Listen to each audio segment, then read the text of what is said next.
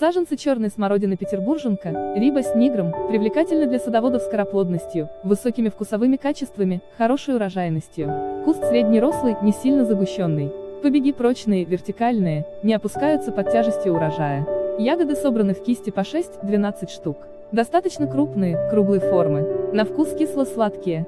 Смородина плодоносит уже на второй, максимум на третий год. Для повышения урожайности рекомендуется высаживать кусты на плодородных, хорошо удобренных участках. Растение нормально себя чувствует на открытом солнце и в полутени. Смородина черная петербурженка – это многолетнее растение. Смородина прекрасно используется подавляющим числом садоводов во всем мире для плодородных почв.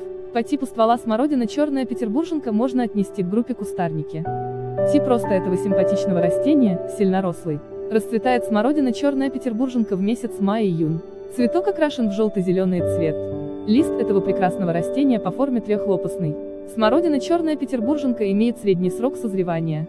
Вкус кисло-сладкий.